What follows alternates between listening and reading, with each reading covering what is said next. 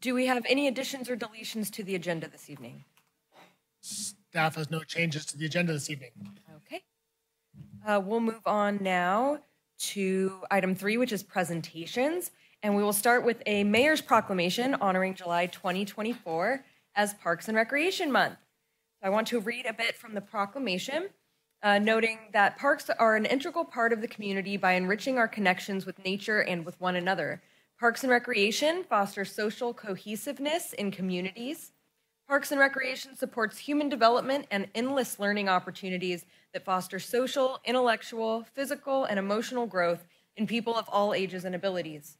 Parks and Recreation strengthens community identity by providing facilities and services that reflect and celebrate community character, heritage, culture, history, aesthetics, and landscape. Parks and Recreation supports safe, vibrant, attractive, progressive communities that make life better through positive alternatives offered in their recreational opportunities. The California Parks and Recreation Society has released a statewide public awareness campaign, Park and Recreation Month 2024, Where You Belong, to inform citizens of the many benefits of utilizing parks, facilities, programs, and services. So I would like to now welcome Nikki, who leads our Parks and Recreation, uh, to, to speak a little more and to receive this proclamation. Thank you.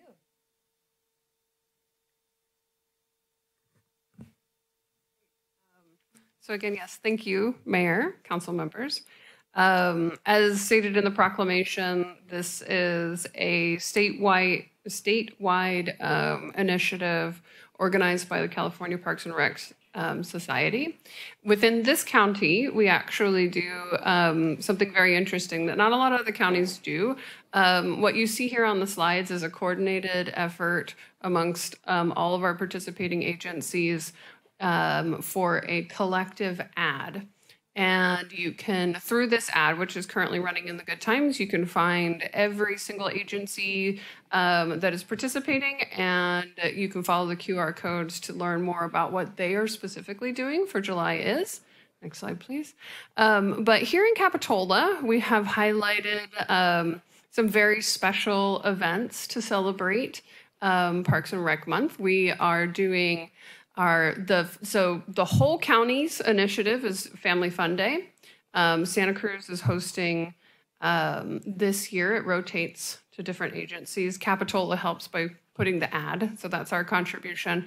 We have our Family Wharf Swim coming up. We also have a Parents Night Out coming up in July. Um, there is a Junior Guard alum competition that you can look forward to. We have our July Food Truck Friday, as well as an additional food truck event that is at Jade Street Park on the 18th, and there will be field games as well. So we would like to encourage every member of the public to find a moment to appreciate um, something within their parks in July and celebrate this. And thank you very much for the proclamation. There's one more interesting thing that's happening um, in July that is related to us, and that is that we um, uh, per council approval this evening, um, have identified that we're going to be relocating to uh, Opal Cliffs. Uh, there's a couple of empty schoolrooms, and so when we go through the remodel, um, we're going to take up resident right next door. And so we're really excited to be able to still be in our park um, and provide programs from that space. So thank you very much, and I'm available to ask, answer any questions if you have. Thank you, Nikki, and thank you for all that you do for us in our in our parks and our recreation and everything that you've done. Uh, it's it's truly wonderful here in the city. Thank you. Any further comments or questions from council members? Yeah, go ahead. Yeah, I just would like to express my thanks as well. And I think you've developed a lot, even just in the few years that I've been involved. And um, I'm really proud of the programs that we have. And we just had two days of the, the junior guard comps out there, and that was really fun to see. And so just good job and thank you. Um, so, Nikki, we get to see all of your team in action with the summer care program and junior guards and all of these events. And it's just such a special thing for our community to offer, um, just not to our local kiddos, but to the county. So, thank you for doing such a tremendous job and congratulations to a, a great team. And to follow up, super proud of our parks. Thanks for what you do. Thank you. Thank you. We'll move on now to item four, report on closed session. Good evening, council members and community. A closed session was had on the items on the agenda and no reportable action was taken. Thank you. Uh, Additional materials? We received additional materials for tonight's meeting for item 9A. Five applications for the Finance Advisory Committee were received after publication of the agenda. Um, in addition, there was one email received. All additional materials have been provided to staff for that item. For item 9B, two emails were received relating to that item, and both were provided to the City Council in advance of tonight's meeting. In addition, all of the presentations for tonight's presentation items were uploaded to our agenda packet and are available for public review prior to tonight's meeting. Thank you. We're going to go now to item six, oral communi- communications by members of the public. This is an opportunity for the public to address the council on any items that are not on tonight's agenda. You will have three minutes to speak. Please uh, state your name if you'd like it recorded in the minutes. Hi, welcome. Hi, my name is Goran Klapic. I'm an army veteran. In Swiss German, that means army veteran. I play almost every day uh, basketball at Jade Street Park. Uh, I want to commemorate something. Uh, I lost a good friend of mine. His name, name was uh, Damon Gutzwiller. He was gunned down by some uh, fucking junkies, who were y- drug users. Goran, we welcome your comments. I ask you to keep it. And uh. I just w- want to commemorate that. Thank you very much for listening. God bless you all. Thank you. Additional public comment. Hi, welcome. Marilyn Garrett. You know, when you go to a mechanic or some business, you want to check if they are safe, effective, uh, and do work that you consider reliable. Um, with pharmaceutical drugs, you also want to check out uh, track records. I have a book by a local author. The second edition just came out. It's called The Unfortunate Truth About Vaccines Exposing the Vaccine Orthodoxy by Leon Canarot. There's a section here, pharmaceutical settlements, compiled by violationtracker.goodjobsfirst.org. Top 10 drug companies. Below are the criminal penalties paid out between 2000 and 2022. Um, and drug companies listed Johnson and Johnson, monetary penalty 15 billion plus, and the number of criminal fines 74. Merck, 10 billion, about 10 and a half billion number of criminal fines, 81. Pfizer, monetary penalty, 10 billion, 268 million, et cetera. Number of criminal fines, 90. These are the same corporations that produced the COVID shots. Another section here in the book, COVID 19 hysteria is the title. It opens with a quote A lie doesn't become truth, wrong doesn't become right, and evil doesn't become good just because it's accepted by a majority. Booker T. Washington. The introduction. The recent hysteria, this book is available through Amazon. The recent hysteria created in the media regarding SARS CoV 2 and COVID 19 is an, yet another example of the manufactured hysteria that was covered in part seven. In the groundbreaking book, Virus Mania, the authors noted that the scientists have been unable to isolate isolate viruses from other nanoparticles observed under electronic magnification. They contend that all of these assumed viruses have never been properly isolated. This is well worth reading for Thank the you for health and comments. We appreciate it. of everyone. The unfortunate truth about vaccines. Thank you. Thank you. Any further public comments this evening? Seeing none, we will go now to staff and city council comments, and I'll start with staff. Are there any comments this evening? I think there's just one, two comments I wanted to offer. The first one is, is on our oh, consent items this evening, we have an agreement to um, lease some space from the school district for a temporary home for our recreation program up at Jade Street Park. Uh, Initially, I will share with the council that that was intended to be an in-kind contribution from the school district to support the development of the Treasure Cove Community uh, Park. Unfortunately, their lawyers ended up having some concerns about making an in-kind donation, so instead they're leasing it to us for a dollar a month. So I just wanted the council to be aware of that and the community to be aware of the partnership with the school district around trying to get um, Treasure Cove and the community center project done. Secondarily, this is going to be really quick. This is just a public service announcement for everyone. I have noticed that into communications outside the city and internal to the city, a lot of emails have been getting caught in our spam filters. This is both on city accounts and personal accounts. I think that everyone just needs to remember that in this new age of AI, there's all kinds of new software being used out there. And so if you have an important email, always follow it up with a phone call. It's just a piece of advice. Duly noted. Yes. I, I have an announcement tonight. And I usually don't. And that is that two days ago, the Supreme Court struck down the CBRT ballot measure that was making its way to the November ballot, which would have radically reworked municipal finance and really wreaked havoc for uh, cities throughout the state. And the Supreme Court struck it down on procedural grounds, finding that it is a constitutional revision rather than a constitutional amendment and is not appropriate for the initiative process. So um, that was a, a, a great moment for people who are interested in the stability of cities. Great, thank you. Further staff comments? None? Okay, we'll go to city council. Any comments this evening? Yeah, I just like to um, share with our community that there are a number of um, programs offered by Central Coast Community Power. This is where we get our energy from. So if you have a um, a car or a home that you'd like to get plugged into, they're offering a significant um, rebate program.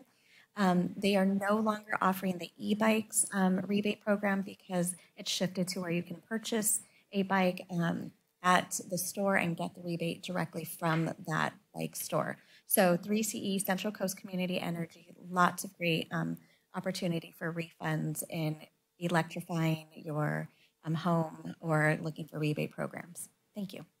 Thank you. Council comments? Councilmember Clark? Yeah, I'd like to uh, thank professional surfer Sean Burns for being here tonight. Um, he was instrumental in helping with uh, Save the Wave Coalition and uh, you know, going to introduce the World Surfing Reserve to Capitola, so it's pretty exciting. So thanks for being here and thanks for all the work you did with him. Thank you. Um, I just have a quick uh, request for a future agenda item.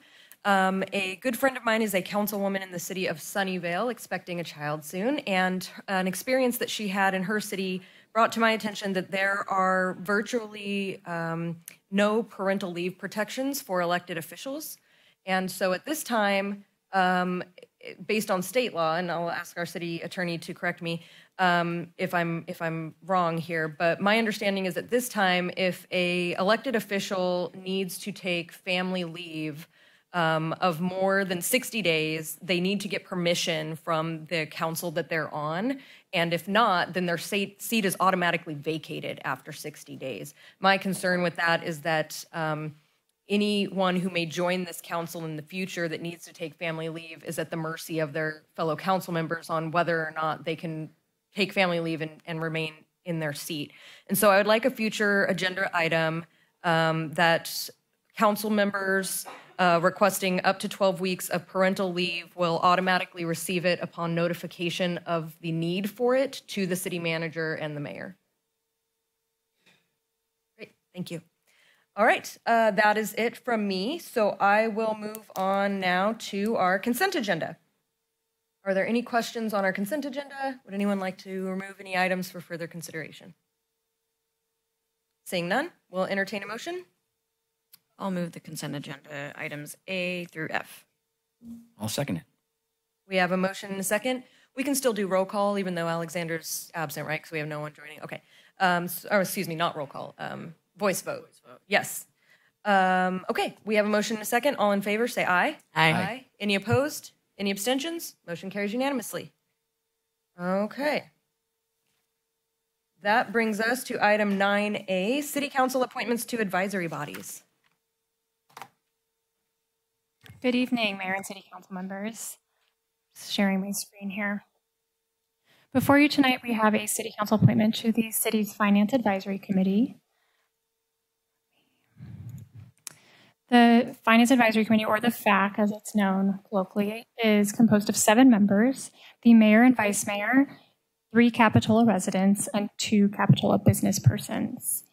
On May 9th, the City Council approved an amendment to the bylaws to allow for appointment of non-business representatives if there were no applications on file.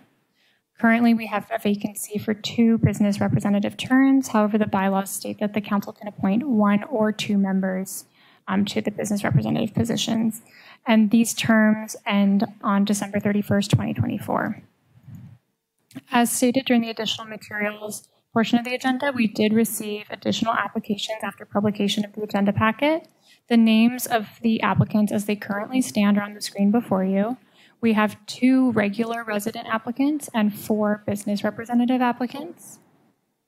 And these are listed in the order in which they were received by the city clerk's office. The recommended action for the city council this evening is to appoint um, one or two members of the public to the FAC for terms ending on December 31st, 2024. I'm available for any questions. Thank you. Any questions from council?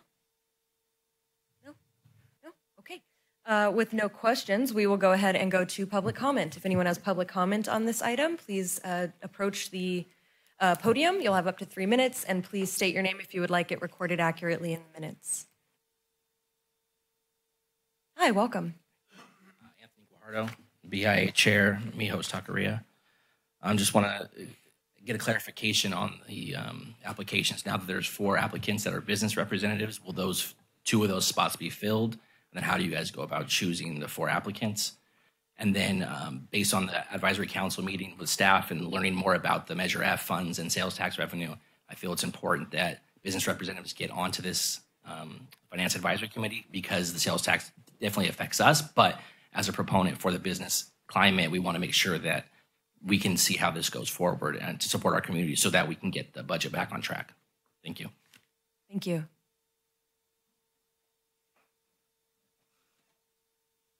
Hi, welcome. My name's Keith Hale, and I think you should agenda your, um, your usual procedure a little bit because I think the council should um, make the decision on whether they're only going to fill the two business positions now that they have four candidates before they ask for public discussion. Thank you. Thank you. Further public comment on this item? I'm Matt Arthur, uh, business owner in the village. I just want to clarify, I think I heard we're here to fill two business spots when you just said just fill two vacancies. So I want to just clarify that it is two business um, vacancies that you guys will be filling. Thank you. Oops, thank you. Further public comment on this item? Okay, seeing none, we'll bring it back. Do you want to address some of the, the questions brought up during public comment? So the change to the bylaws to the fact state that the city council can appoint a regular re- resident of the city if there are no business applicants on file. So with the addition of the business applicants on file, that does change the, the current status of the vacancy. Thank you, I appreciate that. All right, we will bring it back to council. Um, Started this in, Councilmember Clark? That's great that we got the turnout for all the applicants. Exciting to see four business members on there. Um, and they all seem to be really qualified. At this point, I I would suggest we just pick the first two that applied because all four seem equally qualified and, uh, you know, would, would do well. That was my input. Thank you. Um, Can you pull the slide back up so we can see those? Council member, do you have any comments? Councilmember Morgan? Yeah, I'm really glad that more um, people associated with businesses did apply for this. Um, and if um, I'm fine with doing that, I, I wouldn't mind seeing Wesley Nielsen on the FAC personally. Vice Mayor Brooks?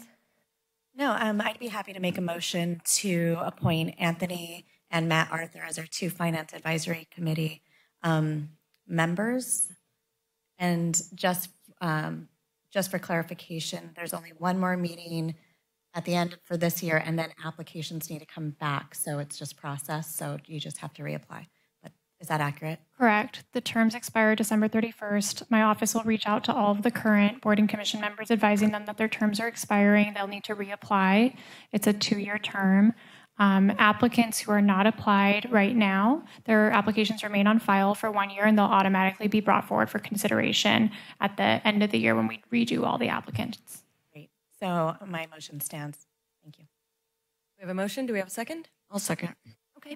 Great. Yes, I'm glad to see that we got applicants. I know we were um, recruiting for almost a year, and so it's exciting to see that we had some people step up and want to take, you know, these these um, roles. Uh, I want to remind everyone else who applied that these meetings are open to the public. You're welcome to come to any of the meetings and provide input um, as you as you see fit. So with that, we have a motion and a second. All in favor, say aye. Aye. Any opposed? Any abstentions? Great. All right, Anthony and Matt, we look forward to seeing you at the PAC meetings.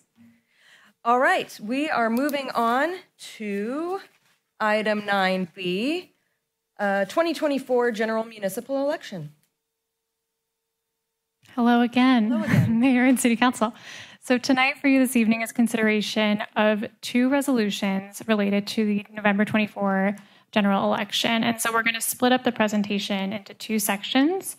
The resolution outlining all the general election requirements and kind of the official direction to place the seats for city council on the ballot.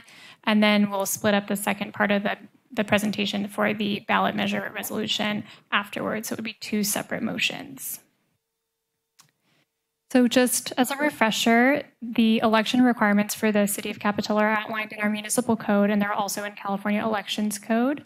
For the November 5th, 2024 ballot, there will be two city council seats for four year terms each. Um, we have two incumbents eligible, or not eligible, but we have two incumbents for these positions. One of them is not eligible for the seat because she will be termed out. So there will be one eligible incumbent for this election. The resolution before you this evening officially calls the election and consolidates the election with the county, as has been done previously in the city of Capitola, and it requests the county to conduct the election. In terms of how to run for local office, the city clerk will work with candidates for the city council. Information about how to run has been provided on our city website. We have a pamphlet which was included in the agenda packet, and we hosted a candidate information night last week in person. The nomination period for City Council begins July 15th and ends on August 9th, unless an eligible incumbent does not pull nomination papers, in which case the, the, the nomination period is extended. So, with that, the first recommended action for you this evening is to adopt a resolution ordering the 2024 general municipal election, requesting that the county conduct the election and consolidate the election with the general election being held on Tuesday, November 5th, 2024. I'm available for any questions. Thank you. Any questions? Any questions? Um, so just a procedural uh, question here. Since this is two motions, should I do two different public comment opportunities or should we get all the information, go to public comment and then come back for the two motions? Or does it matter? I, I would do it separately. Two different I- public it, comment? it doesn't matter, whatever the mayor prefers. Um, but if you, you need to take public co- comment before you take action. So if you plan to, and I'll look at, I'm looking at the clerk here too. I would expect that it makes more sense to adopt, to take action on number one before moving on to number two. Okay. Then Right. I do public comment twice. Okay, thank you. Um, okay, so no questions on this aspect of this agenda item. So in that case, we are going to take it out to public comment on this particular aspect of this particular agenda item. Just, just the resolution to call for an election. Okay, seeing none, we'll bring it back to council. And uh, further discussion or a motion on the recommended action? The first recommended action. I can move the first recommended action of this item. I would like to second it. All right, we have a motion and a second. All in favor, say aye. Aye. Aye. Any opposed? Any abstentions? Motion carries unanimously. Move on to Part B. Thanks so much. Let me just share my screen again with you guys. So thank you for that. Now we get to move on to our proposed local sales tax measure. So I'm going to go ahead and start the presentation off, and then I'm going to hand it over to our city manager to help explain some more of the background. For some basic background about this sales tax measure, in November of 2023, the City Council authorized an agreement with EMC Research to conduct polling on potential revenue measures within the city and with the voters. In March 2024, EMC Research returned to the City Council and presented polling results and identified the following voter priorities public safety response, maintenance of roads, sidewalks, and bike lanes, maintaining the beach and the new wharf, and recreation programming for youth and supporting local businesses. EMC research identified that voter support for renewal of the existing Measure F quarter cent tax measure is above the threshold required for approval. There are other ballot measures known to us that are going to be on the November 5th ballot. There is a regional clean water and wildfire protection measure going forward. It's, I think, also known by open space measure or open something open space. It's going to be a parcel tax, and it's a flat rate of $87 per year per parcel, and it is until ended by voters. Central Fire District has a general obligation bond on the ballot. It's going to be a bond measure of $31 per $100,000 of assessed value. I believe there's a typo in the $100,000 there, but it's $100,000 to be clear, and it's going to be a 30 year duration. And then Soquel Union Elementary School District also has a bond measure on the ballot, and it will be $30 per $100 or $100,000 for 30 years. And so those are the known factors going onto the ballot on November 5th. And at this point, I'll go ahead and turn it over to City Manager Goldstein to kind of explain some more of the background. All right, thank you, Juliet. So there's a number of factors that we've taken into account as we've considered why we might think about a sales tax measure. Um, one is is the projected fiscal challenges. When we look ahead into this future for the next 10 years for the city, we can see some really obvious challenges, both associated with the expiration of Measure F in 2027, as well as some other known increases that we face. In addition, um, sales tax is a really interesting tax in that there's a balance between what the residents pay, which is less than a third of the overall sales tax in Capitola, and visitors. Um, there's no other tax that's sort of shared that way. It's either paid 100% by residents, in the like as a property tax or a parcel tax, or 100% by visitors, like a TOT would be. Um, and in the past, the city has received really great support from the community for prior sales tax measures. So those are some of the reasons why we're looking at a sales tax.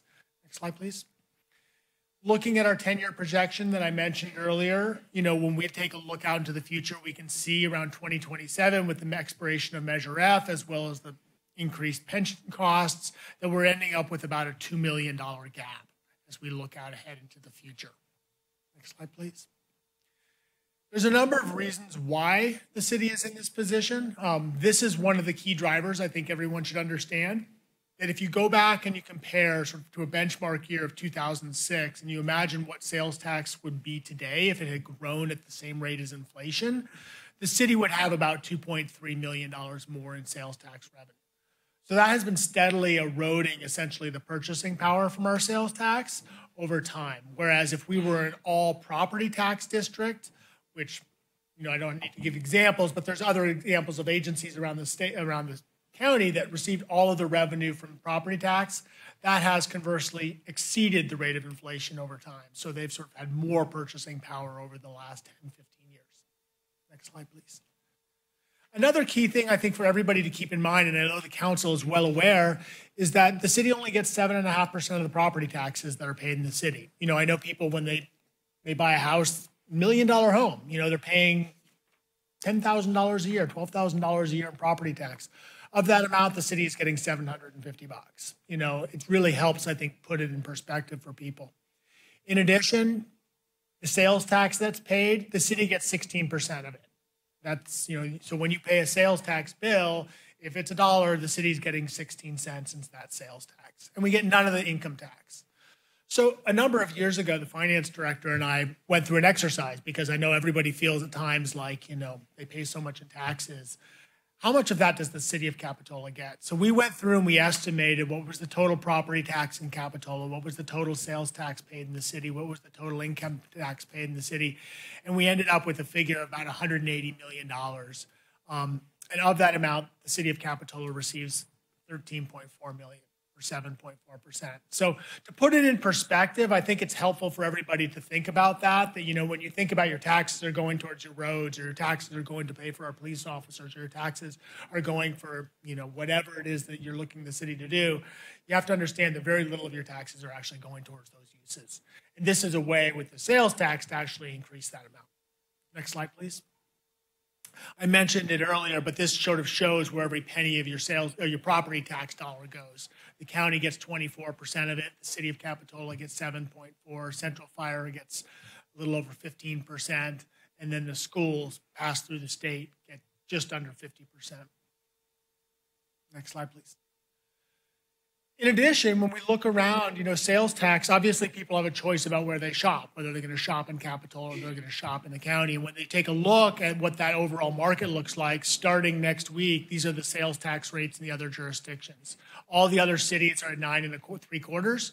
The unincorporated county, I think there may be a lawsuit around their tax increase is pen, pending, but they're slated to go to nine and a half percent, and Capitola would be at nine percent as of July one. So we're between a half to three quarters of a percent lower than any of the other jurisdictions in the county. Next slide, please. We're also taking a look at whether or not thinking about ending Measure F early. And you know, the reason why I think we can talk about that is, is because we got what we said we would do with Measure F done. You know, we've rebuilt the flume, we've rebuilt the jetty, we've um, rebuilt the wharf, and we've put funding into public safety. So we have a breakdown of where the funding for Measure F since it's been received is gone. The vast majority, 61%, has gone towards the wharf. That's about $3.6 million.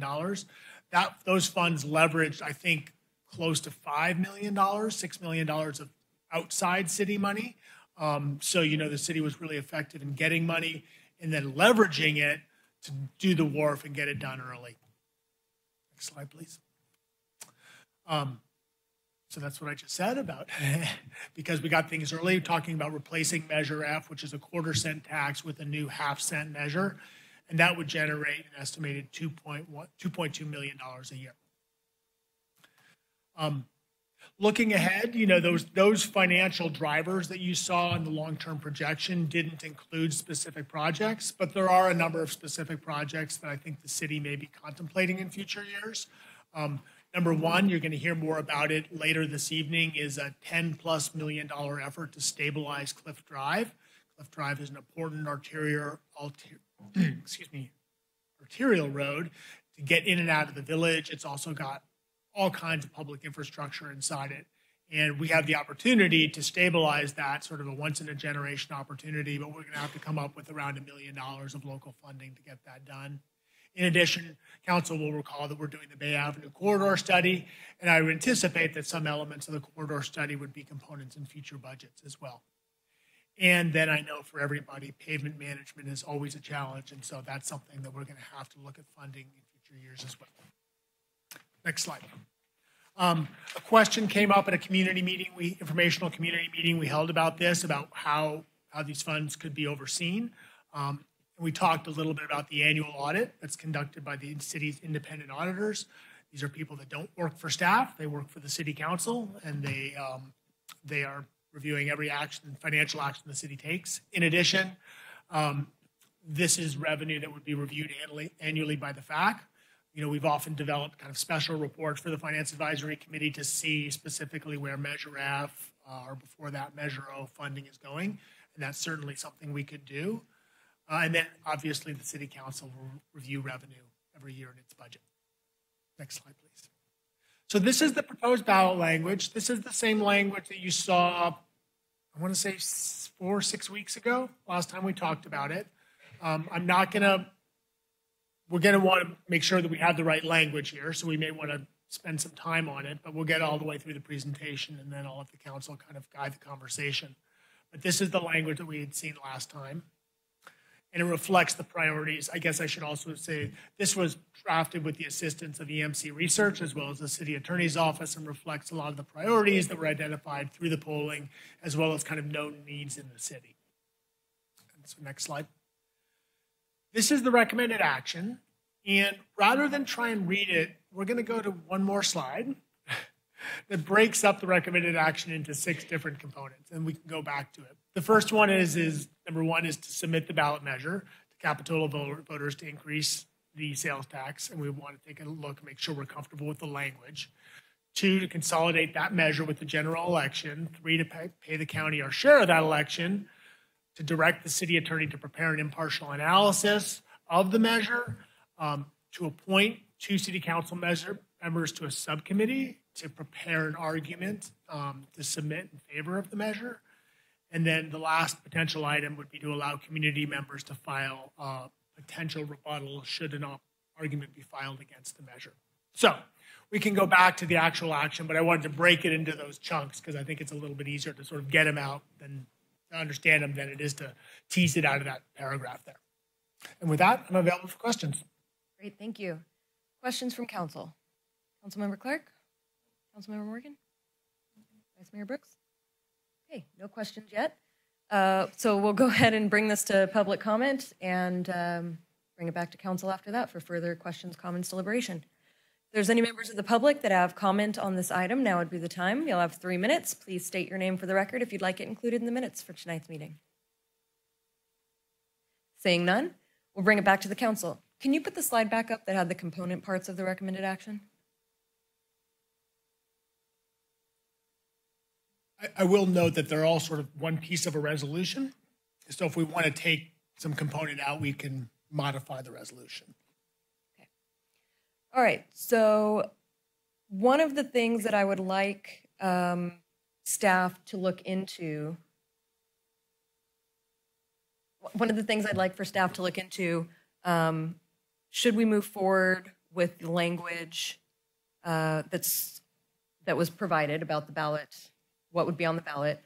And after a subcommittee um, looks at the argument, I think that subcommittee, it would be nice for the subcommittee to also consider um, some of the projects that we might commit a portion of this funding to.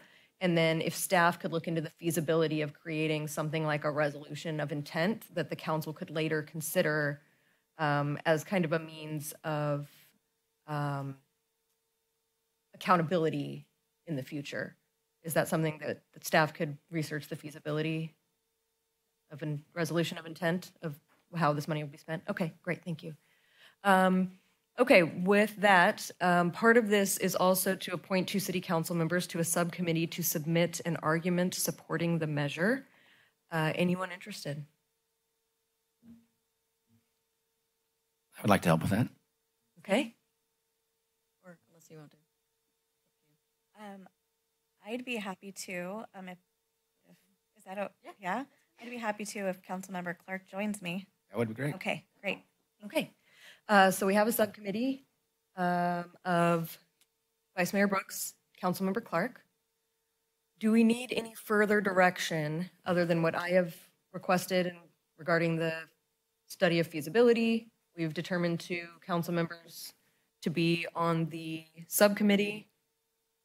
What am I missing? Do you want to take a look at the language and make sure everyone's on board with the ballot language? Yes, please. Bounce back a couple slides.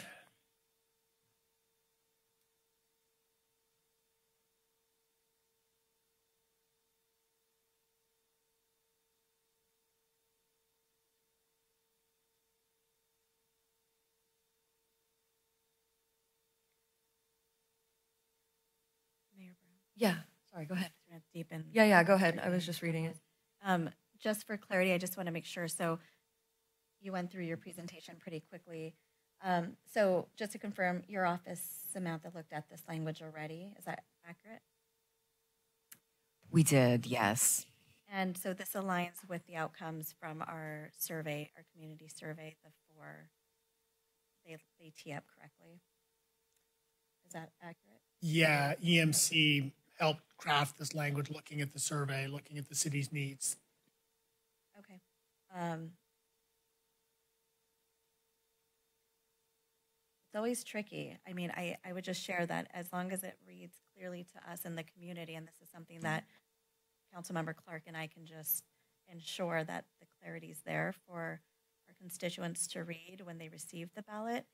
Um, you know, we know what this all means because we've been working on this, but I just want to make sure it reads clearly.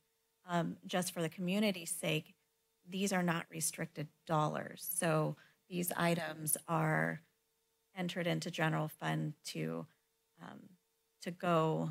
Well, they would general they would go into general fund. These are not restricted dollars for anything specific, or that one item is going to get more money than the other. And I that's what Mayor Brownie were alluding to of some sort of resolution just to hold us accountable to um, to these items. So, um, but just for clarity for the community members. Um, my question though is, can you tell me a little bit how this item would pass? So there's two different types of uh, ways that this could pass. Tell us what kind of measure this is and what um, what do we need for it to get approved? Sure.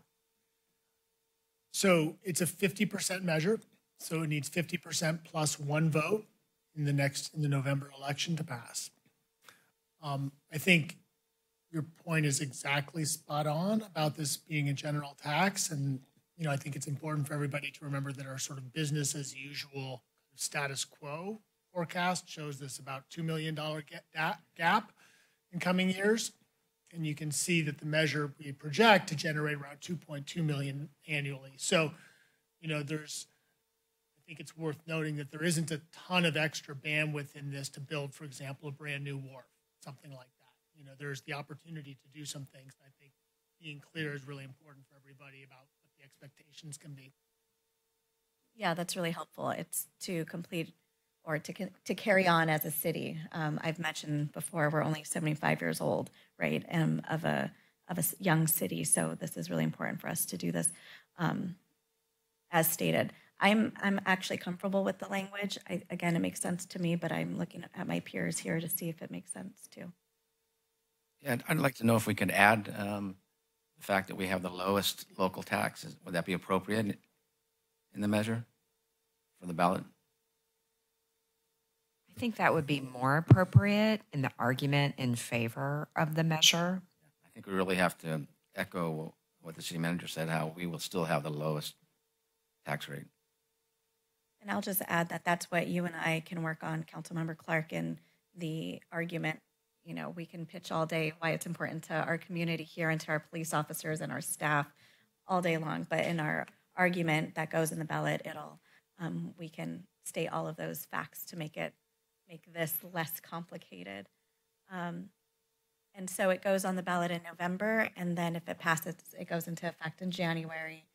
And that's in January, immediately Measure F will be repealed. Is that accurate?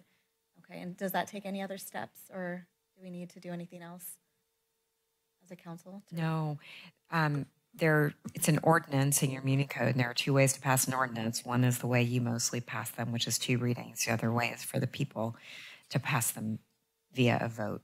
So, no, nothing else is needed. Sometimes cities do some other step, but you're not required to. You'll certify the election.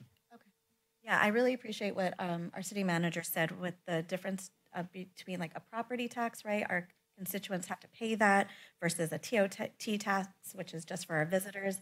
When I look at an increase of sales tax, it's like everyone's carrying the burden, right? Our our visitors, the city, everyone is holding hands to support Capitola. So I'm um, I'm happy to.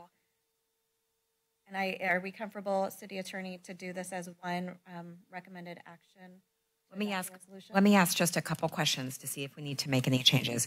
So I think what I heard is um, there will be a subcommittee of uh, Vice Mayor Brooks and Councilmember Clark to draft the ballot argument in favor of the measure. And so your names will be added by the clerk into section 6D of the resolution. And then will the would the council like for the subcommittee to, the subcommittee will be drafting the argument on behalf of the council, not in your individual capacities. Would the council like for the subcommittee to draft the argument, give it to the clerk, and then it's done? Or does the council want to see the argument again? See it. Yeah. Bring it back. Okay, so it'll come back so that it gets on the ballot. It'll come back at the July, is it 25th meeting? Okay, very good. Then in that case, I suggest that we strike from the measure section six, in, in section 6D, the last line of that section reads, once the argument is lodged with the city clerk, the city clerk shall notify other members of the council who may then sign the argument on file but may not make any revisions thereto. I suggest we strike that line because it's unnecessary because the argument will be coming back to the council. Okay? I further suggest that the council strike the final paragraph in section six, which regards rebuttals, which the council can discuss at the July 25th meeting as well. So section E. 6E.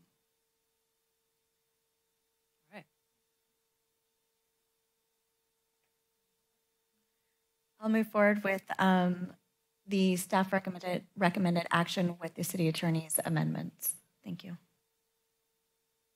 We have a motion. Do we have a second? I'll second. Uh, we have a motion and a second. And just for the sake of discussion, just because I want to clarify, the, can you go back to the slide with the three, or maybe you can just tell me, the three projects that you were recommending that this funding could be used for was Cliff Drive, resilience, road maintenance. What was the third one?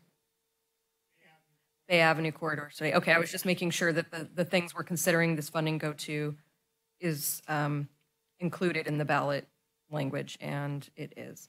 Okay, uh, we have a motion and a second. Any further questions or comments? How did that include public safety? Yes, public safety is the, the first, first line, to protect essential city services, including public safety and emergency services, and I think that's Perfect, thank you. a really point, important point that you make.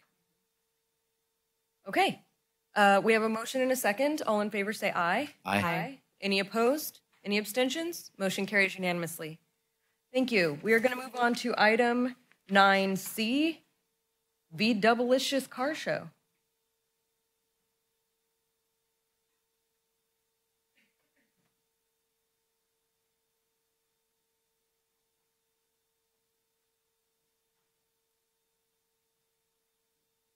Who do we have presenting on?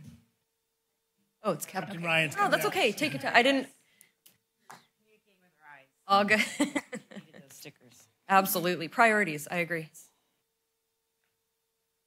All right. Good evening, Mayor Brown, Council. Thank you. So tonight we are here to talk about V Doublicious, major event. As the administrative captain, it's my role to bring, to, to act as the conduit for folks who want to have a major event to bring them forward to council. So just a little background. Thank you. Um, in March of this year, we, City Council adopted an ordinance amending the special events application and approval process. And in March, we also um, received an application from the V Double- V Doublicious Car Club for a special event in the village to be held on August 10th. Um, this event qualifies per our ordinance as being a major event because it reaches the threshold of being more than 200 people in attendance and because of the impacts to city services.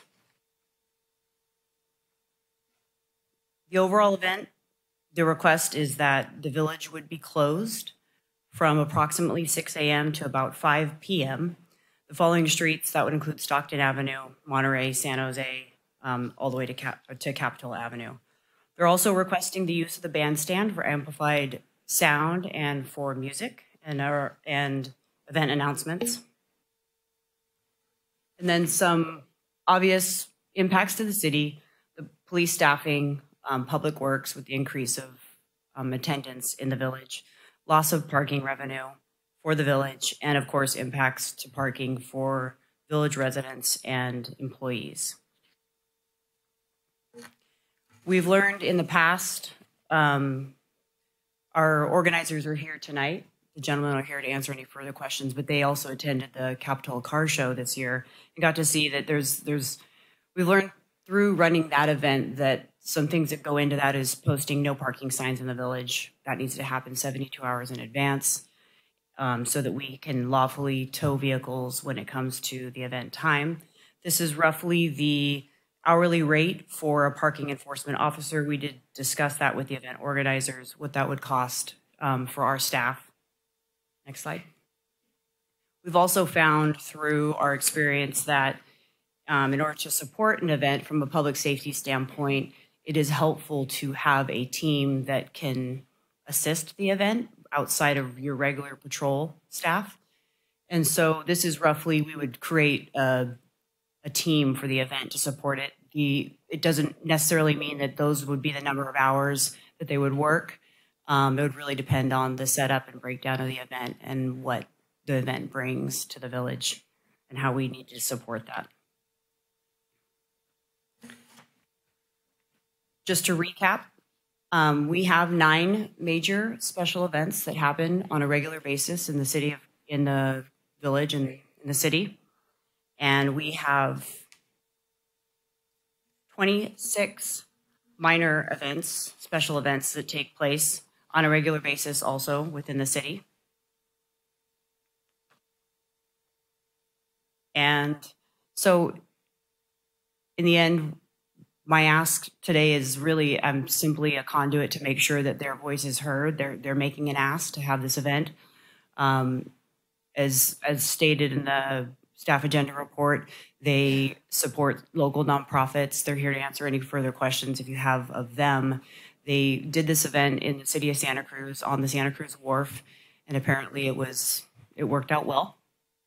Um, and so that is their ask coming forward to you all tonight is if they would be able to do this event on August 10th this year. Thank you. Uh, council questions? Questions? Yeah, go ahead. Thank you. Um, so where we, I love events. I can't speak for the rest of, but I love events. I think it, it's great to have as many as absolutely possible um, for the city of Capitola. And I noticed these um, report didn't have any um, recommend, recommendation from your team. There's a lot of events going on, um, and at the end of the day, I'd love to know whether your team and staff have the bandwidth essentially to take this on. We can say yes to amazing events every day. Um, I think it's great for the community. I think it's great for our businesses. Um, it brings people in, but really, I, I, need to know from the experts here who put it together and um, whether it's something that you can actually do supporting it from a public safety standpoint, we our officers are will sign up to work the event um, for an overtime rate. So, and, from that perspective, yes, um, I I did open that up to um, our department to see what the overall consensus was. So yes, um, they they would be willing to support from that that standpoint. We haven't gotten in the weeds as to the planning and preparation. That's that would be the the club's um, role that we wouldn't be putting on the event, just supporting it from the public safety standpoint. Yeah, a little bit of it is that we plan for these, we approve the list, you know, prior to the year starting. And so it's kind of hard to keep letting additional um, groups come in. And so, but I'm hearing you say you really haven't talked about that or if there is really any. I think I asked the same, I posed the same question the last time was that too many when in terms of what we agreed upon. And so, um, although this is a sounds like a fun event, um, but it sounds like you really haven't had the chance to discuss this with the whole team yet. Correct. Okay. Um, and then, is there a reason, and this might be for the folks bringing this forward, um, why it's not going to just stay in Santa Cruz? I'm just curious. Other than Capitola being amazing. Yeah. Can you please come? Pass, yeah, speaking to the microphone. This is OJ. Hello, my name is OJ Macias. Thank you. Um, we are holding the event also in Santa Cruz in October. So we also want to pick this venue also. The Wharf and Capitola are, are two great venues. So that's what we like to do. Great, thank you. Those are all my questions. Questions, Councilmember Clark? Yeah, since we, oh, he was up at the podium. You might want to come back with some questions. Uh, our car show that we do is, is very successful, and, and the reason why it is, is is the volunteers. We have a big operational plan that we work on for like a year. What I would like to ask is that the police department, or even us, work with the organizers to make sure they have as many volunteers that we have, and then it runs as smoothly. There are several things uh, from the, the beginning to the end that has to be done. I don't want to just approve a plan without having seen that operational plan of how we do everything from the beginning to the end. Yes, we would love to work with whoever is willing to help us out with this event to uh, volunteer. We have plenty of volunteers within our group, family members, friends, that we will help with putting the cars in place and stuff like that, making sure everything is running smoothly. We, we have quite a few people on board. So, Captain Ryan, was, is there somebody that, that could be available to work with them um, to make sure we get all that done? I don't know if it could be somebody from the foundation or from the police department, just to see that to follow through with it to make sure it's done. From an operational uh, perspective, I would, um, it would be myself and the operations captain, Kilroy, to make sure that the, the, it was a sound plan for moving cars in and out of the village and shutting down the village with bollards for the day. Yeah, we have a great operational plan. I just want to again make sure that we follow it. Yes. I have one, um, one last question. When, because our year is different from like a school year, from a fiscal year, remind me when we open up applications again and when we approve, I think this is more a Julia question. Um, no, who would, when do we approve somebody, anybody? So I I don't remember exactly. I gave a presentation to you to the to council um, wrapping up our events. However, um, I haven't seen anything that prohibits people from coming in at any point and saying, "Can we have an event?" I, I've had that question asked several times leading up to this, and the door doesn't close per se for people to ask. They get to they get to ask, and right now the police department stands as the conduit to bring folks like OJ in front of you to say, "Can we ask this question?" I see. Thank you for the clarification. I was under the assumption that we pre-approve X amount of events throughout the year, but you're, you're spot on. So that, that clarifies it. Thank you. Additional questions?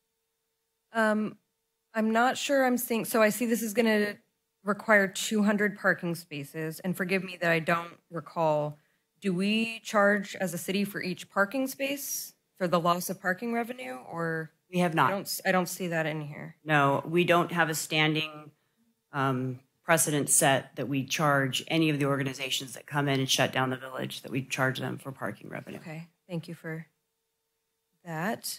Um, okay, I think that's it for questions for me.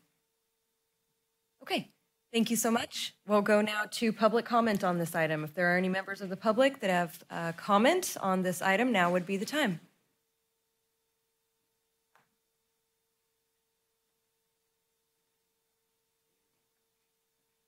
Eloise Ruth Zabarski. Hi, welcome. And I'm Lance Zabarski. Um, I'm uh, one of the lead surf coaches for Veteran Surf Alliance. You guys are very kind to us here in this town. Um, we are a big supporter of the VW Club. They their wharf event raised uh, enough money for us too. They donated to us. We're a nonprofit here. I'm sure you guys have heard about us.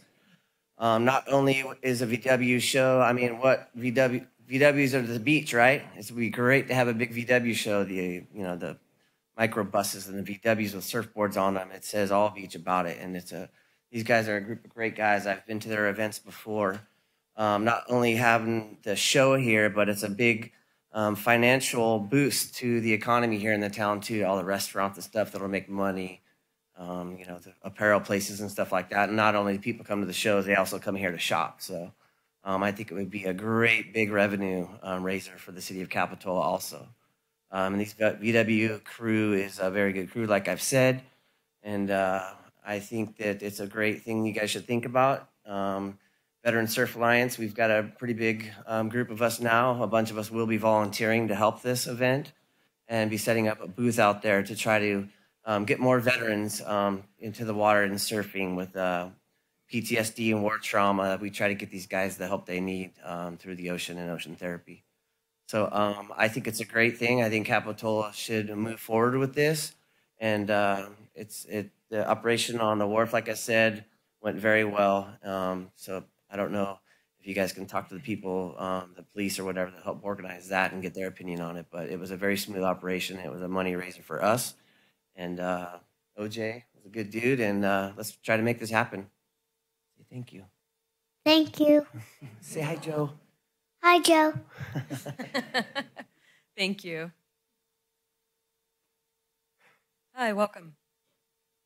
all four events. Um, I don't agree with Councilmember Brooks that as many events as possible.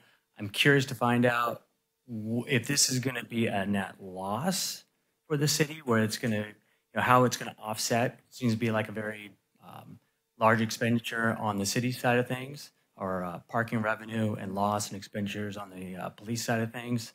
Um, and also in the past, we've always tried to push these major events toward the outskirts of the seasons.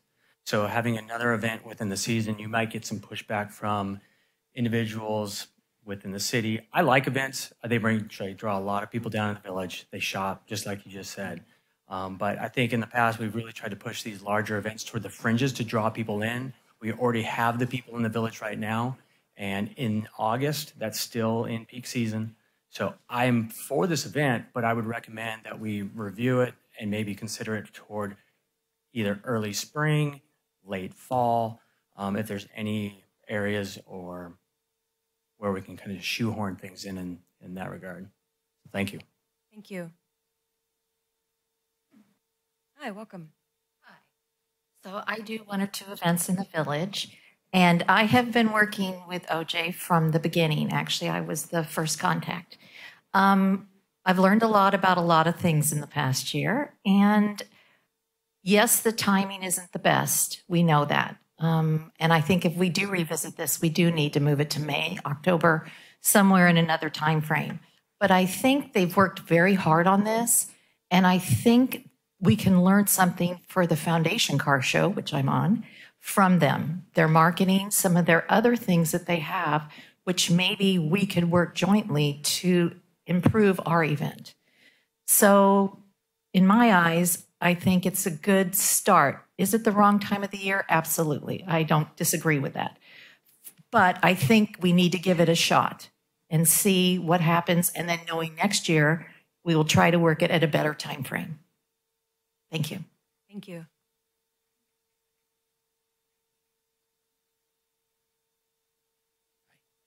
I'd like to say I took a look at their application and I want to thank them and I appreciate them for not allowing any no merchandise, no food, and no alcohol. So they thought about the businesses when they put, planned for this event.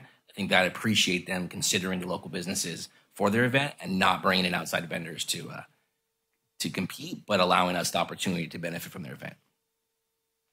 Thank you. Any further comments?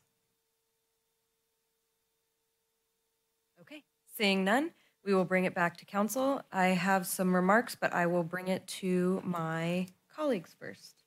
Vice Mayor Brooks? Thank you to our public for the comments. Um, I just want to clarify, I said what was doable in the city, not all events, because they, they don't all always work. So I just want to provide clarity on that. Um, to our applicants, have you considered a different date um, of our time of year? Right, I, I would share with my colleagues that August is busy. We still have guards out and just a really busy time of year. So if you would be open to that, what would work? Um, Yes, we would be open to possibly change it to a different time of year. Um, October will not work for us because we have the Wharf Show in Santa Cruz. Um, everyone knows September, October is the perfect weather over here. So that's why we picked October for Santa Cruz. And when we applied for this, we were trying to coordinate with other Volkswagen events in California. There's a lot of them throughout the year. So this worked out pretty good. This date worked out for all their car shows. But yes, we would be willing to consider a possible uh, different date. Okay, thank you. Um, I'd like to, our fellow council members, just for discussion's sake, if you would be willing to um, have the applicants go back and talk with uh, our police department, with uh, Captain Ryan, on potential other dates and what would work with all the other stuff going on. If there's a, some wiggle room, summer's really hard for all the other events and camps and guards going on. I would just be, I would see if council would be willing to. Yeah, I I'm grateful for the application, and I too am definitely pro events um, by all means. I do feel like slightly rushed on this this time frame and and just being the time of year that it is uh, i feel like we're kind of running into a sort of a cramped position and um, i would like maybe our our pd to have a little bit more time to oh yeah come on up. Um, also yeah I, I don't know what your volunteer outreach has been locally but what that looks like and what is potential. Um, to have our involvement and kind of get more understanding. But he's. I just wanted to clarify. Thank you. Oh my goodness.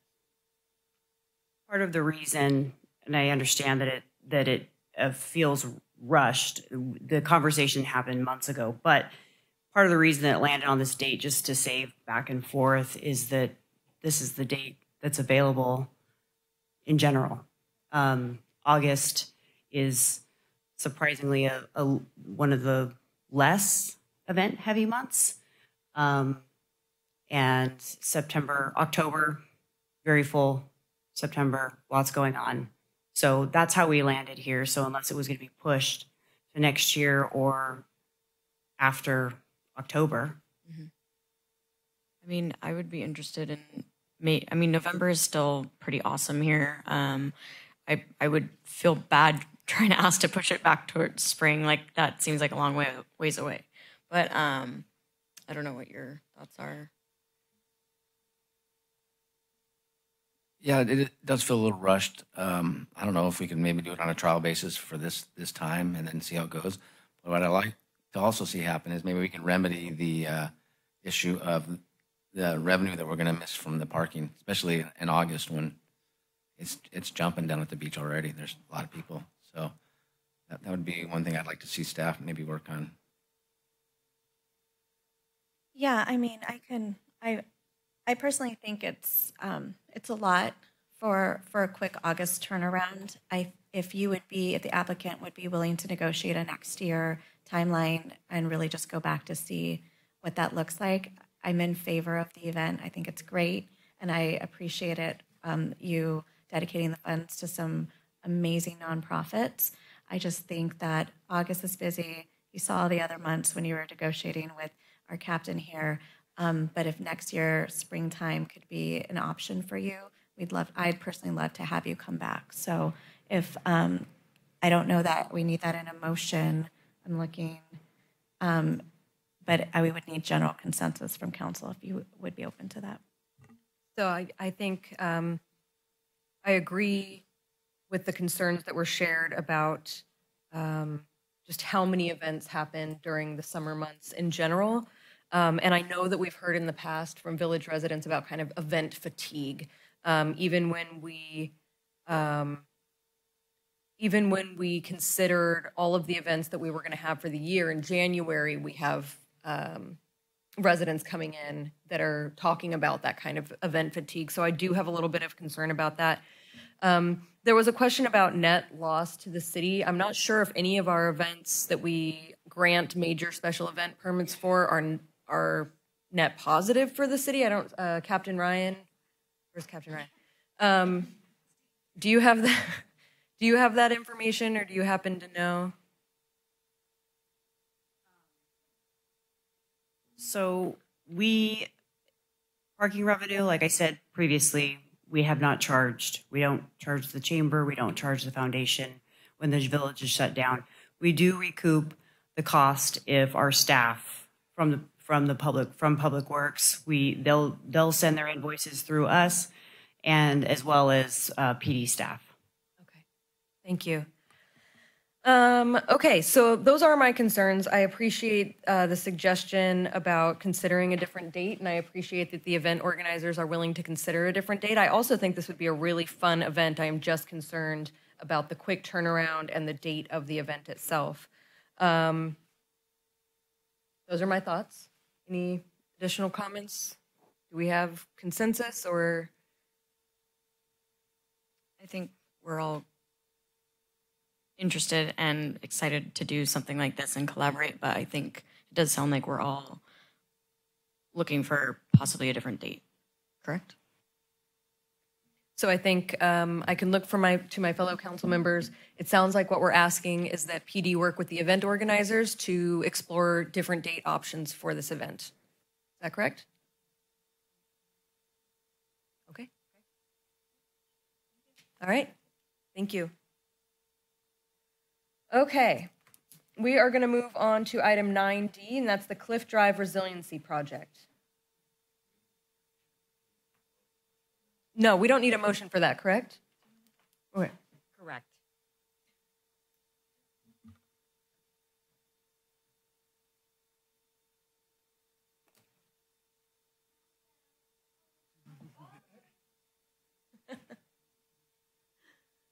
All right.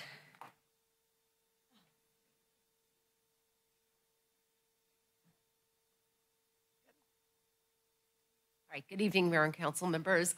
Um, as you may recall, uh, this year we've been diligently working on uh, stabilizing Cliff Drive here, uh, coming into the village. We've been working with the past six months with uh, CSW, the uh, project uh, manager, or um, Robert Stevens is on the line for any technical questions you may have at the end of the presentation, but I'm going to go ahead and start us off with what we've been working on the past six months.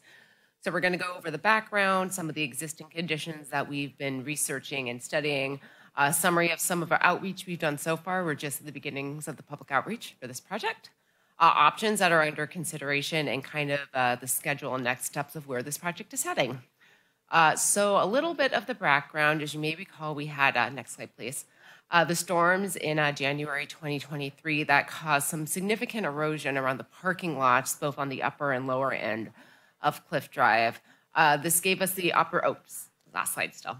Uh, this gave us the opportunity to apply for funding with the uh, FHWA to do these repairs. As part of that application, you're also allowed to apply for what's called a betterment, so to make it more stable than it is currently. So that is what we did, and that was what was approved by FHWA. So not only are we doing repairs to what has been eroded, but we are also um, looking into doing a full shoreline protection project on this stretch of road.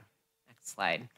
So we've been approved so far by the FHWA to move forward with the design and to get the PS&E plan specifications and estimates along with all the permitting for this project. So that's what we have started on. That's about $700,000 from FHWA. Additionally, uh, Public Works and Planning applied for a Coastal Commission grant of $450,000 that was awarded that is also going towards this effort. Uh, construction funding thus far has been approved at $8 million from FHWA. It requires a match of approximately a million dollars. There's an order of magnitude error in the staff report. Apologies. So a little over $900,000 of a required match, which we're seeking funding from, from state governments and other places uh, where you can get money for this kind of thing. Um, in October of 2023, you all approved a professional service agreement with CSW, who has successfully uh, completed some of these projects up and down the coast. And we are currently in phase one of that contract, which is uh, um, identifying a preferred alternative for the project.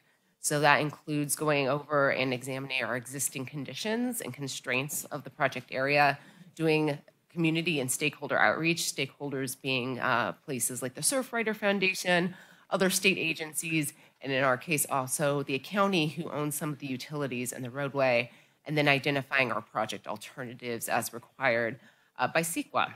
So for FHWA's concerns is really the roadway. So they fund um, roadway projects. So this is the project area. You can see that the stairs technically are not in the project area. The FHWA does not consider that part of the road, but it is definitely part of what the mitigations will be for this project from other agencies to get the permits to fix the road. Next slide. So we did an extensive um, analysis of our existing conditions. Next slide. Um, as you may all be aware, it is a two-lane arterial road. There's really limited improvements for bikes and pedestrians on this road. However, that does not stop the bike and pedestrian traffic on this road. It is used a lot by locals and also visitors who park up this way and then walk down into the village. Next slide. Um, there is quite a bit of traffic on this road, obviously egress and egress and ingress through the village. Um, about two thirds of that traffic go, goes up this area of Cliff Drive, and then the rest of it up Wharf Road. Next slide.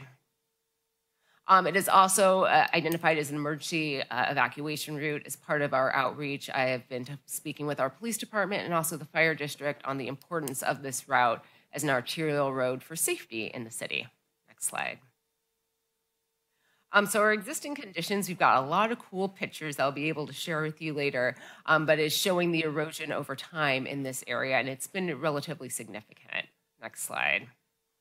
So we did also a pretty big deep dive of some of the history of the slope. We have some fun pictures from uh, 1905. We found in our council records from the 1960s of when the riprap was approved by council, though we were not able to find any plan sets for it.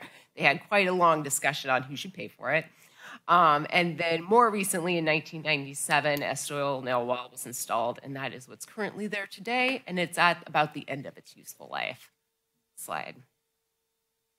Um, so our existing conditions, that wall obviously is still there. It is eroding on the bottom from wave action and just being exposed to the elements. And then also the riprap on the bottom, which has shifted over time and has allowed for uh, sea caves to erode underneath. So you can see some of that erosion here with the drone footage we were able to get. In some areas, it's pretty significant, um, particularly near where those parking areas are. Next slide. Um, so we've calculated the bluff erosion rate here to be about six inches per year, but that is obviously episodic. We've seen that over the beach um, down in New Brighton uh, most recently, but these things fall in chunks. So while it's six inches per year, a seismic event, a big wave event, makes this happen more rapidly any given year. Slide.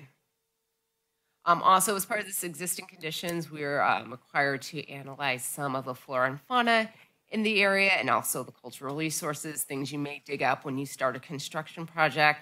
Uh, so far, we haven't run into anything really significant or not mitigatable that we anticipate would stop this project in any way.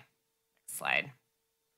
Um, so this is a cut of the roadway. You can see the uh, SCC RTC right of way going all the way up to the roadway, including the uh, parking areas there on the landward side of the road um, our two lanes of traffic and our PEDs and bikes. Um, we have our tieback wall from 1996 and riprap. We are required to analyze whatever projects we do for sea level rise up to 100 years. Not that any kind of fix we put up there would last 100 years, but we are required, that is one of the benchmarks we're required to look at this project against. Next slide. So we have done some preliminary outreach for this project. Next slide. Um, in February, we had an outreach um, mostly of jewel box uh, neighborhoods, but there was representation from some of the businesses and other um, people in, in the city. Um, it was attended by about 20 people. Um, what was kind of surprising to me is how many people really do uh, walk down to the village on um, Cliff Drive. Like it is a significant portion of that traffic is walking traffic. Next slide. Um, and so we had a presentation and we also had breakout tables. There were two uh, groups that we were broken into and had different conversations with. Um, what came out of that was people really prefer the two way traffic. There were definitely other opinions about one way traffic and which way would be the preferable way. There were people who were like, we should have it closed to traffic now and it should just be a walkway. So a lot of different opinions, but two way traffic did come up as the uh, leader in the opinion of that particular outreach group. Next slide. And then overwhelmingly from the outreach group was that the if affordable and feasible, the city should do something to address the erosion on this cliffside. Slide. Um, so we have ongoing outreach. July is going to be a busy month for us. We're going to launch a survey, and we're going to do some of that stakeholder outreach and uh, some other pop-ups um, with events going on in the city. Um, we have a dedicated web page for this project and a dedicated email for this project that we have had said some good feedback from so far and are hoping to continue to get feedback as this project moves forward. Um, so now we get to the options of, under consideration um, from some of the analysis that we've done so far. Next slide. Um, so to evaluate some of the options that we had, we really needed some project goals, and for that goal is a mission. So really the mission here is to improve mobility for all users. That's bikes, walkers, vehicles, to main, maintain access um, both to our village, but also for coastal access into the future based on some of the uh, different things in weather um, that we've been seeing in the coming years. And to that, we have project goals that kind of meet that mission um, to continue that access within the confines of those conditions and also reasonable cost and uh, engineering feasibility. Um, really critical to this project is improving our mobility. Um, there's two types of ways to do this, particularly for bikes and peds. Um, for they're called class four and class one bikeways. They are grade separated, so there's something physically between the driver and the bicycle or pedestrian. Uh, class four being a bike lane on both sides, and class one being a what's considered a cycle track or a shared pathway, which is very similar to what is going on right now in East Cliff. Next slide. Um, so there really is three options. There's protect, try to keep the infrastructure we have. There's adapt, which is a kind of knowing that we're going to change and doing lesser to protect the shoreline. And then there's the retreat, which is kind of the do nothing option. So to get a little more into the details of those, starting with retreat, next slide, would be the do nothing. And so as I mentioned before, the 1997 wall is eroding from both the top and the bottom. Next slide and really we expect it to continue to erode over time. Again, we expect that to probably be episodic and potentially catastrophic, not to be doomsday. But if we were to lose a big chunk of that roadway, obviously whoever's on the roadway at that time would be effective. But there's also critical infrastructure in that roadway. There's a sewer force main, there's water lines, there are things that would affect not just the roadway, but really many, many residents for a long time if we were to lose a significant chunk of this roadway in one go and that could be sea level rise and erosion, that could be a seismic event. Um, but that is something that is definitely in our future.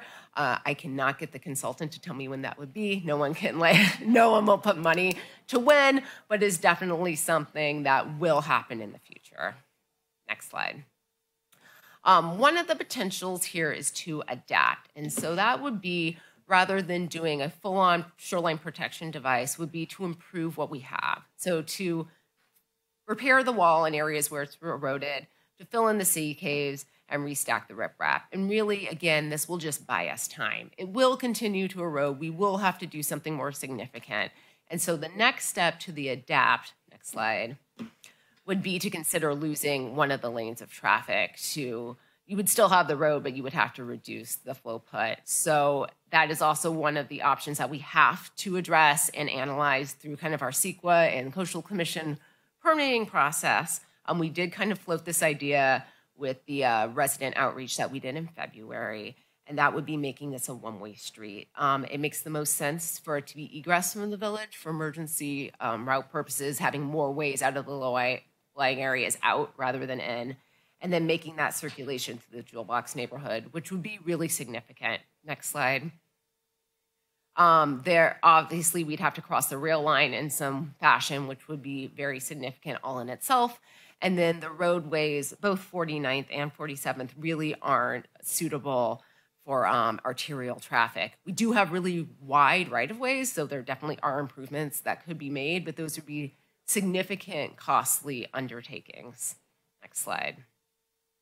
Another option for the adapt is to not do the improvements to the uh, seaward facing side of the wall, but try to make improvements um, kind of into the street. So making a wall that goes like into the ground and letting the roadway erode away, and eventually the outside of the cliff would be where you built that wall.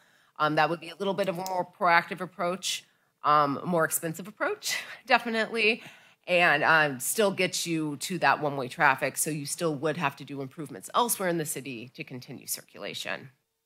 Next slide. So our third option here is to protect. And so that also gives us the opportunity to do those really nice improvements to our coastal access. Um, so we would be able to um, keep both lanes of travel, develop some kind of class one pathway for bikes and peds for ingress and egress to the village and also to the coastline.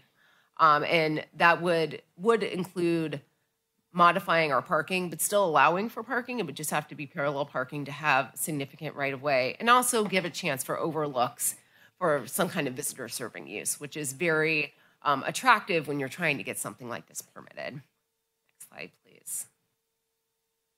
Uh, there's different ways to do a protection type project. Um, one of them would be a full facing wall. Um, we are analyzing several different options for this. Uh, they all have different costs. Um, so that is one option. It would involve cantilevering some of the, uh, or making the roadway go out over the ocean a bit to get all the right of way you would need to do that pathway, which is significantly expensive. But like I said, to get something permitted like this would probably be necessary. Next slide. There's also the option similar to option two, where we do the uh, internal wall closer to the uh, uh, to the seaward end, which would require a much longer cantilever out into the ocean for the walkway.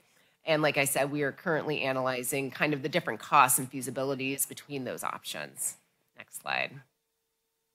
Um, additional design considerations that the FHWA doesn't care about that, but we very much care about are uh, vertical access. Um, so the stairway, as you know, is currently blown out, has been blown out twice in the past uh, two years. So really making that a more permanent structure, either concrete or something that's built into some whatever shoreline protective device that we have, like those two pictures up at the top there. And then also considerations for surfer safety, having somewhere for them to have a refuge while we're waiting for rescue efforts is something that's been incorporated into a lot of these shoreline armoring devices in the past couple decades. So this was included in your agenda packet. This is really a qualitative kind of comparison of options summary, and then uh, based on some of those goals that we had earlier. So just briefly to go over this, kind of our service life, which is pretty important in here, with our do nothing option is really a time bomb, an alarm clock, something marginal and negligible that we don't know when something is going to happen, but we do know it well. Option two definitely buys us more time, but still will require us to do a significant project in the future. Option three is what we would consider a more permanent project, kind of a one and done, at least for our lifetime.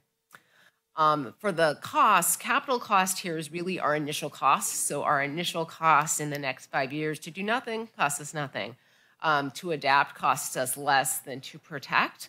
Um, but you have to really consider the life cycle cost of the do nothing if we have that catastrophic event, or we decide to lose one lane of traffic and are adapt and we have to do improvements to other places where the life cycle of keeping our circulation in place is really lesser if you go um, with a full protection option.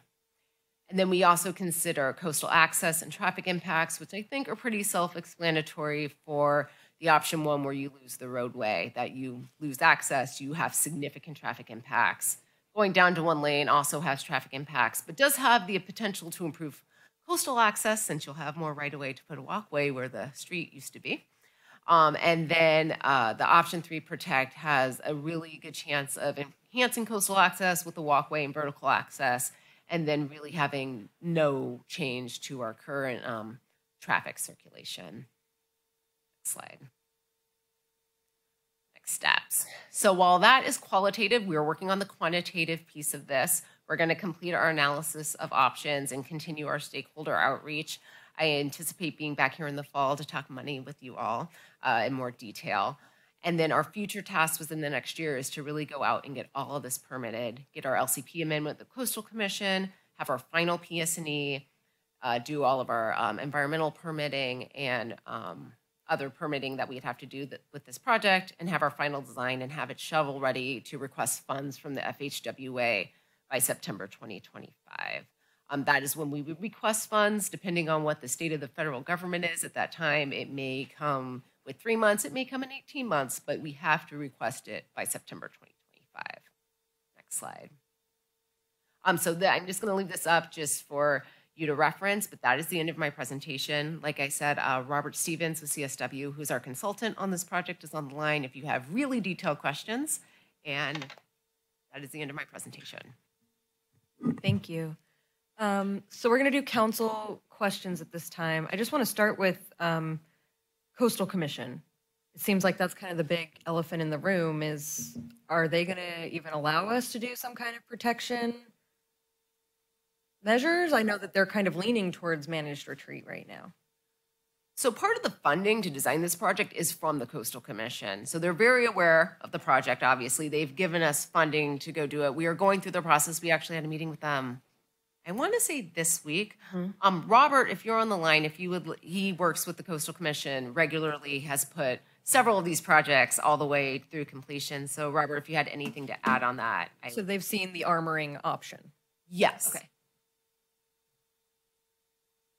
Yeah, I think it was a very productive meeting uh, with the Coastal Commission. I think they were very encouraging. I think they recognize the importance of coastal access, both at the top of Bluff as well as to get down uh, to the ocean. So I I think that there's a path forward. Good, good. I'm glad to hear that. Thank you. Further questions? Um, so I, I understand that the city of Santa Cruz is kind, is also looking at this. Are we looking at some sort of joint efforts or joint funding efforts or trying to align kind of the visions together so we don't look just disjointed?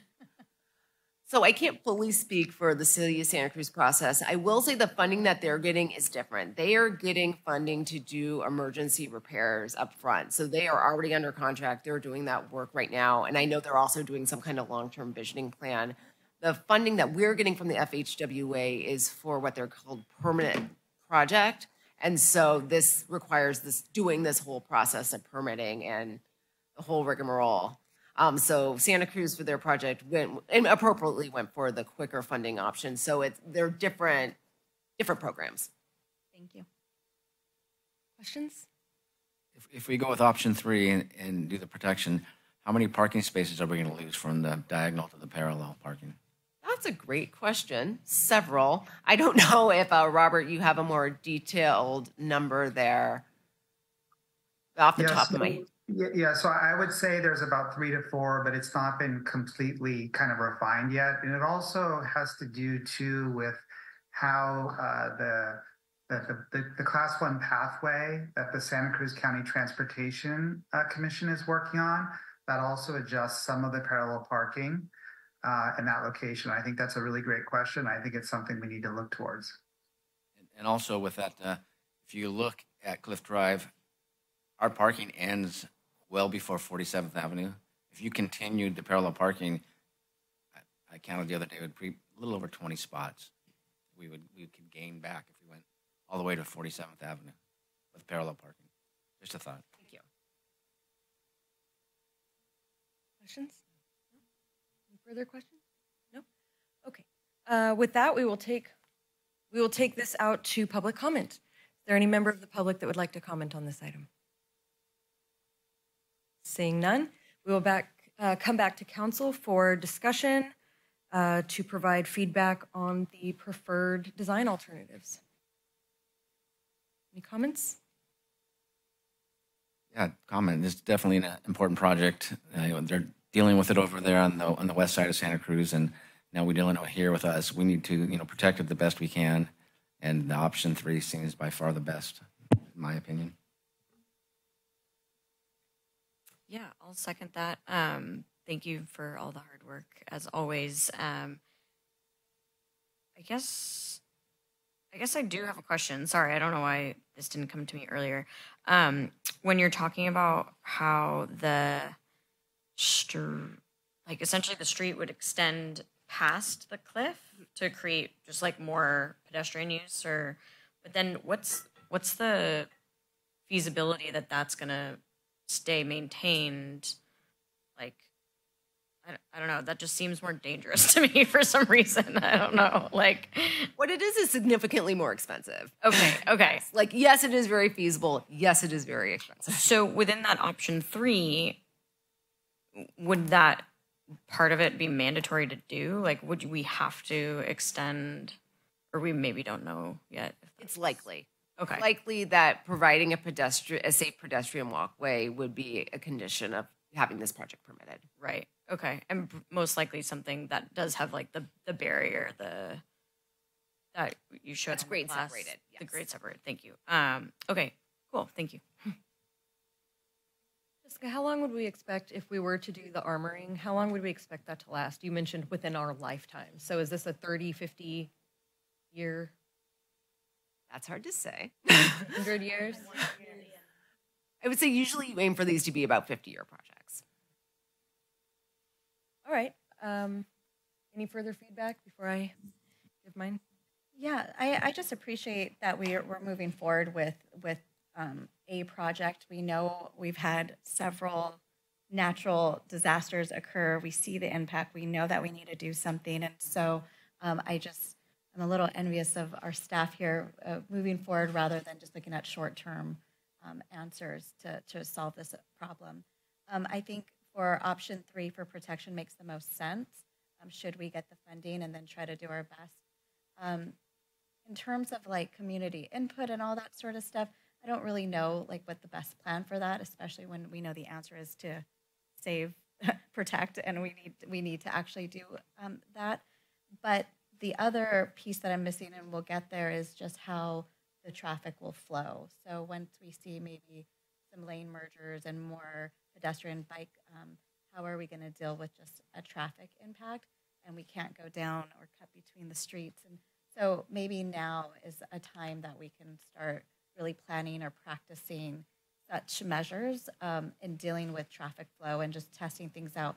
Obviously, not during summer, um, but um, at a different time. I think we just have an opportunity to really um, practice different methods and different approaches um, before having to make final decisions. And then we can use that as information here when we finally have to make those long term um, decisions. So, um, thank you.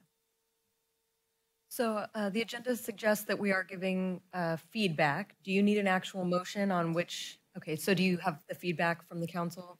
Yes. Okay. Great. Thank you so much.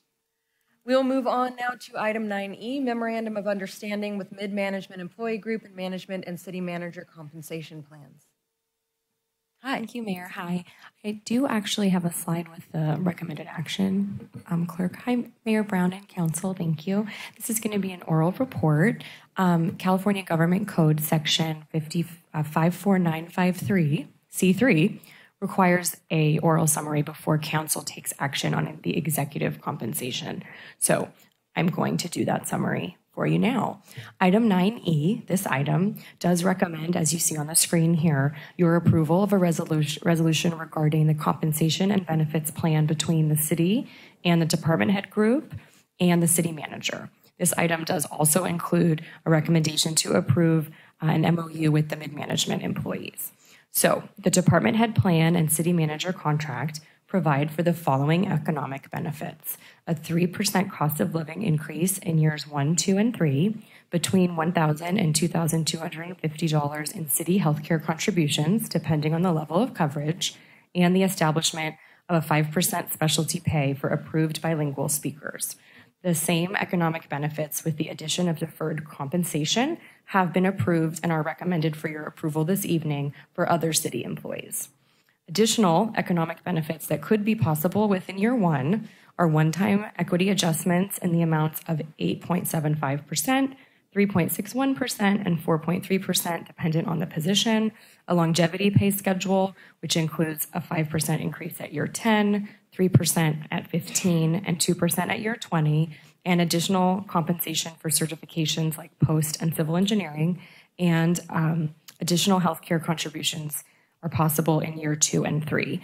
Those um, possible equity adjustments, the same longevity schedule I just outlined, and the additional health care in year two and three are included in the proposed mid-management MOU and have already been approved or will be approved by proposed to council, excuse me, not telling you what to do, uh, for other represented employee groups. That's my summary, and the official recommended action is on the screen. Thank you. Thank you. Questions from council? No questions? Questions? No? Okay. We will, thank you, Chloe. We'll go to public comment. Is there any public comment on this item? Seeing none, we will bring it back to council for discussion and a vote. We will entertain a motion. I'm fine to move the recommended action, which is to authorize the city manager to execute a successor agreement to the existing MOU with negotiated changes for the mid-management employee group, subject to technical changes, and to execute a successor agreement to the existing management compensation plan. We have a motion. Do we have a second? And? Oh, there was an additional additional. There, there's no number three there. Okay. number three, that's not listed, is to authorize the mayor to execute the eight amendment to the city manager employment agreement. That's you. All right. I'll second that. We have a motion and a second. Uh, all in favor? Aye. Aye. Any opposed? Any abstentions? Motion carries unanimously. We'll move on to item 9F, fiscal year 24-25 budget and capital improvement program. Good evening, Mayor and Council. Welcome. So this last item before you is consideration of the proposed budget for fiscal year 24-25. Um, Just to remind you of the process, the proposed budget was distributed on May 3rd. The Finance Advisory Committee held special meetings, a special regular meeting on May 14th and 21st, providing recommendations to the City Council, who met on May 16th and 30th, with on May 30th giving us direction to come back tonight for budget adoption. Next slide, please. Um, so the proposed budget and the packet tonight has an updated ending fund balance as we just concluded or have almost concluded negotiations. I think we have one left. Um, so the proposed and planned budget are both balanced. Um, we're maintaining an estimated fund balance of about 642,000 with 500 of that as our traditional target um, balance, 100 for employee down payment assistance, and 42,000 that's just kind of undesignated at this point. Um, We're also utilizing $239,000 of general fund resources for city council goals, and those are listed. The first three there are, are, you know, the employee down payment assistance program that I mentioned above, and then the first three are kind of um, more along projects in the public works space that'll pop up again later. Next slide. And then I don't think you need me to read these, but these are the other ones that came out of the city council goals as far as um, translations and election outreach and website updates. Um, as far as our CIP program, we have 10 projects at about $16.6 million carrying over from prior years. We also um, are recommending one project this year funded from special revenue for uh, pavement management. And then we have three council goals, the three that I just mentioned, um, for $100,000. This does not include that we still have two storm damage um, repairs that we're working through with FEMA right now. We're estimating at about $400,000. Um, as far as mid-year, uh, we talked about a ballot measure earlier this morning, or this morning, this evening. Um, it's been a long day. It feels like it was this morning. Feels like tomorrow already. um, so if that ballot, depending on the outcome of that ballot measure, we may be back amending our sales tax revenue at mid-year. We'll also be watching all of the other um, revenues, building permits, parking, um, and the TOT. Um, also on the expenditure side, the ballot measure, there's inside of the labor contracts, there's contingent pieces. So if the ballot measure passes, that would trigger some mid-year budget amendments tied to that ballot measure as well, and we would bring those back at that time. Next slide, please. Um, so as far as a summary, again, the fiscal year 24-25 and 25-26 budgets are structurally balanced. Balanced. However, we are using Measure F funding to cover operations at this point. And then you'll see once that Measure F expires in December of 2027, that our projections show the general fund going imbalanced. Um, however, our reserves are remaining at target levels at this point right now. Um, general fund revenues, sales tax and TOT, we had kind of a, a dip from the pandemic, and then we had some pretty good growth. That's starting to level off to more traditional type growth that we saw pre-pandemic. So we're watching that closely, as well as, like I said, the other um, revenue sources that we have. Uh, the proposed budget maintains the high service levels that we've had, but again, with Measure F, with Measure F expiring, that becomes more challenging in the future. And then just as a reminder, we have our community grant program being partially funded with CDBG grant funds right now. That expires this year, and this is also the end of our community grant three-year cycle. So we'll be bringing that back in the fall to talk about the next cycle as well as applying for more um, CDBG grant funding. Next slide. So the recommended action this evening is to approve the resolution adopting the fiscal year 24-25 operating budget and capital improvement program and adopting the resolution or approve the resolution adopting the associated salary schedule and new job descriptions. And with that, I'm happy to answer any questions. Thank you. Council questions? None? Council questions? Okay, we'll take this out to public comment. Any public comment on this item? Seeing none, we'll bring it back to council for further deliver- deliberation or entertaining a motion. Can I move the recommended action. Approve the resolution adopting fiscal year 24-25 operating budget and capital improvement program. And two, approve the resolution adopting the associated salary schedule and new job descriptions. I'll second. All right. We have a motion and a second. All in favor, say aye. Aye. Any opposed? Any abstentions? Motion carries unanimously. All right, team, way to be efficient. Uh, We are now at item 10, which is adjournment. We will adjourn to our next regularly scheduled city council meeting on July 25th. Enjoy your month off of council, and we'll see you next month. Until then, please take care of yourselves and take care of each other. We're adjourned.